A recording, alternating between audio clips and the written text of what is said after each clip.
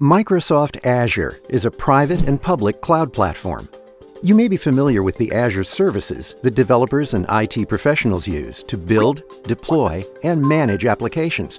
But how does it work? Azure uses a technology known as virtualization. Virtualization separates the tight coupling between a computer's CPU and its operating system using an abstraction layer called a hypervisor. The hypervisor emulates all the functions of a real computer and its CPU in a virtual machine. It can run multiple virtual machines at the same time, and each virtual machine can run any compatible operating system, such as Windows or Linux. Azure takes this virtualization technology and repeats it on a massive scale in Microsoft data centers throughout the world.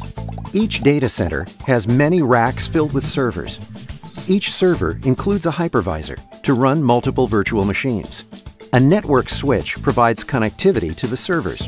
One server in each rack runs a special piece of software called a fabric controller. Each fabric controller is connected to another special piece of software known as the orchestrator.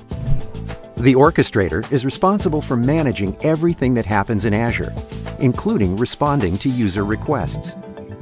Users make requests using the orchestrator's Web API. The Web API can be called by many tools, including the user interface of the Azure portal. When a user makes a request to create a virtual machine, the orchestrator packages everything that's needed, picks the best server rack, then sends the package and request to the Fabric controller. Once the Fabric controller has created the virtual machine, the user can connect to it.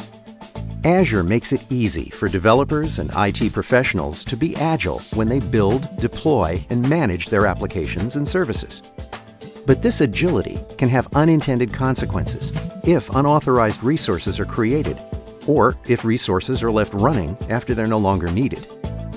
The solution to this problem is to use Azure's Resource Access Management tools as part of your organization's governance program. That's the subject of the next video in the series.